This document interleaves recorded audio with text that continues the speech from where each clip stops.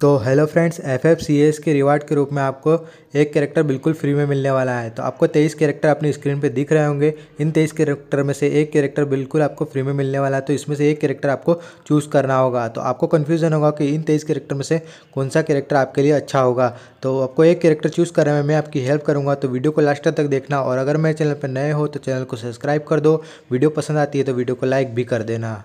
तो मैं आपको बताऊँगा इन तेईस कैरेक्टर में से कौन सा कैरेक्टर आपको लेना है। तो सबसे पहले बात करते हैं कौन से कैरेक्टर इसमें नहीं है। तो हमारा नए कैरेक्टर डाशा के कैरेक्टर जय कैरेक्टर लुकेटा, आलोक और क्लू कैरेक्टर ये कैरेक्टर इसमें नहीं है। जोटा भी नहीं है और साथ ही में एक दो कैरेक्टर और नहीं है एंड्रयू वगैरह जैसे। तो अब आपको मैं बताता हूँ कि इसमें से कौन सा कैरेक्टर हमें लेना है।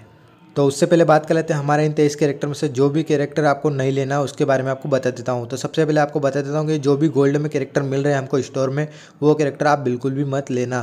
क्योंकि ये कैरेक्टर आप गोल्ड में कभी भी ले सकते हो। इसमें आता है क्ला पलोमा मिगुल निकिता एंटीनियो मोको पलोमा राफेल तो ये कैरेक्टर सभी गोल्ड में अवेलेबल तो आपको इनका लेने का कोई फ़ायदा नहीं, क्योंकि आप कभी भी इनको ले सकते हो आठ हज़ार गोल्ड से या दो हज़ार गोल्ड से। तो अब बचते हैं वुकोंग और जोटा यहाँ पे नहीं है। और दूसरे कैरेक्टर भी नहीं है तो यहाँ पे बचता है Wukong A one two four शानी और अलवारो नोटोरा और ये एक दो कैरेक्टर स्टेफी बचते हैं। तो आपको इनमें से कौन सा लेना है? देखो, अगर आपके पास आलोक नहीं है और आप चाहते हो कि आलोक की एबिलिटी आप यूज़ कर पाओ तो ए वन टू फोर आपके लिए बेस्ट रहेगा क्योंकि ये ईपी को एचपी में कन्वर्ट कर देता है पचास ई को।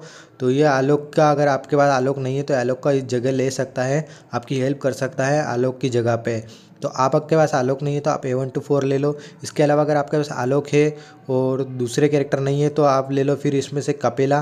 कपेला सबसे बेस्ट रहेगा, आपके पास वुल्फ्रा नहीं है, अगर कपेला है, वुल्फ्रा नहीं है तो वुल्फ्रा ले लो। अगर आपके पास ये दोनों है और वो अलवारो नहीं है तो अलवारो ले लो। और आपके पास ये तीनों चारों कैरेक्टर है तो आप फिर वुकोंग ले लो। अगर आपके पास वुकोंग भी है तो फिर स्टेपी ले लो। और अगर स्टेपी भी है तो फिर आप शानी ले लो।